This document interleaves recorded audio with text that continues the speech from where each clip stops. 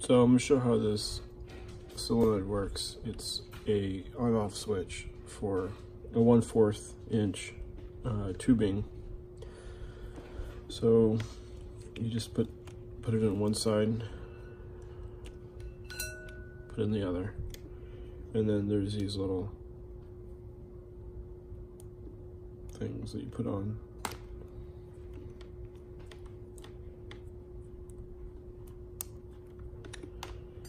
So, so that's good. That's not going to leak. I have water on the table because I already tested this. Um, over here we have a, a pump, a water pump. Uh, it's self-priming. And uh, let me just turn it on.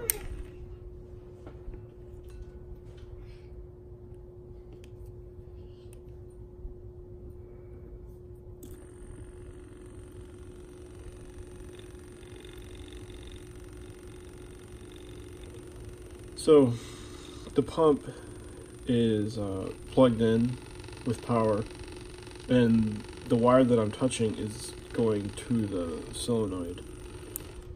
So when I take the wire off, the pump actually still has power, but there's no water coming out because this, it, it closes little gate in there. So the pump, the pump can't move, but it is actually trying to. So giving this solenoid power turns it on.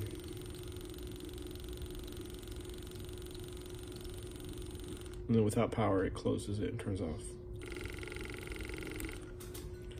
Just want to show you one more thing. So, so if I take off this pipe, water will come out.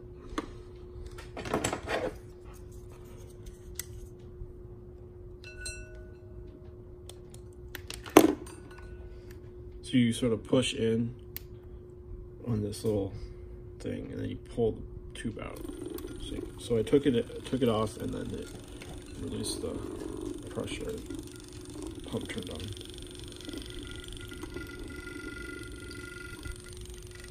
This is a nice little pump. It's self-priming. It it doesn't